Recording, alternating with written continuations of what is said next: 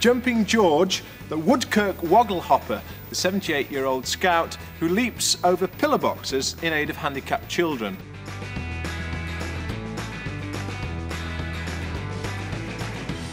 One thing that intrigues me, and I'm sure everybody watching, is why do you call your leapfrogging woggle hopping? Well, it's the art of leaping over a pillar box, uh, the height of your woggle, a scout woggle, which is the ring that fits round the, the tie, the scout's tie. Nice. So you're, you're a woggle I'm a woggle hopper.